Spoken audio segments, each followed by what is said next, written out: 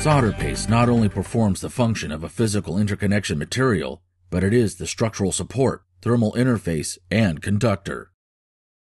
It is critical to the manufacturing process that the correct amount of solder is applied in exactly the right place. Digicom has the latest in solder stencil printing equipment. We can accommodate a wide range of print formats.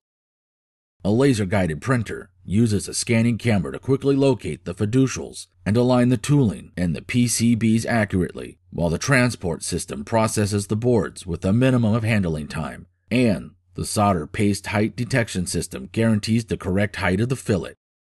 The easy to use touchscreen makes programming faster and more precise.